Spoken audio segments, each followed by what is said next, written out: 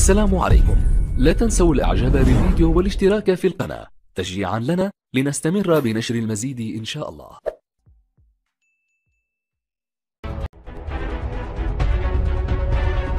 حصرية هذا ما ينتظر سعد المجرد بعد اعتقاله شاهد التفاصيل.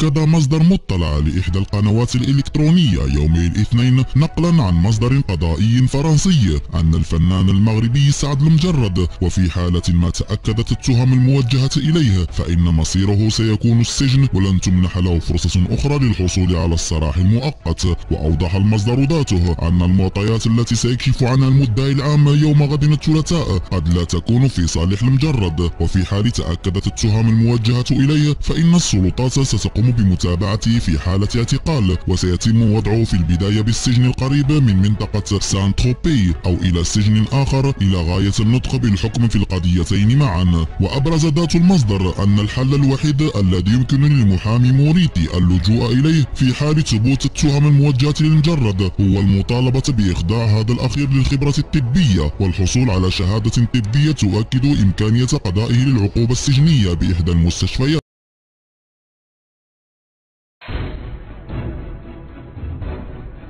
اعتقلت الشرطة الفرنسية صباح اليوم الأحد السادس والعشرون غشت الجاري الفنان المغربي سعد المجرد وذلك بمدينة سان تروبي الفرنسية.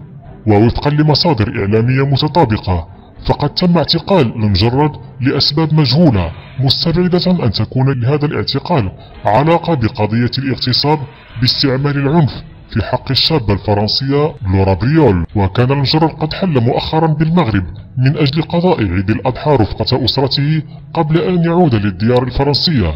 وفي تطور مثير لقضية اعتقال الفنان المغربي سعد المجرد كشفت معطيات جديدة حصلت عليها جريدة أشكين أن هذا الأخير متورط مرة أخرى في قضية اغتصاب جنسي بفرنسا ووفقا لذات المعطيات فإن المجرد قد أمضى ليلة صاخبة بمنطقة سان تروبي رفقة عدد من أصدقائه قبل أن يقوم باستدراج فتاة شابة ويحاول التودد والتقرب إليها فتحول الأمر إلى اعتداء جنسي. وأمام هذا الموقف هربت الفتاة من قبضة المجرد متوجهة صوب مقر الأمن.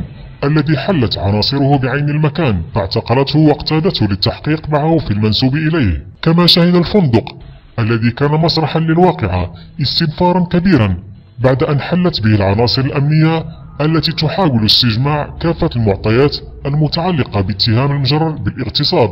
من جهتها لا زالت عائلة المجرد تحاول الاتصال به وبمحاميه من أجل تجميع مزيد من المعطيات حول هذه الواقعة التي تنضاف إلى سلسلة الاتهامات بالاغتصاب المنسوبة للمجرد وأبرزها القضية التي يتابع فيها بسبب الشكاية التي تقدمت بها الفرنسية لورا بريول.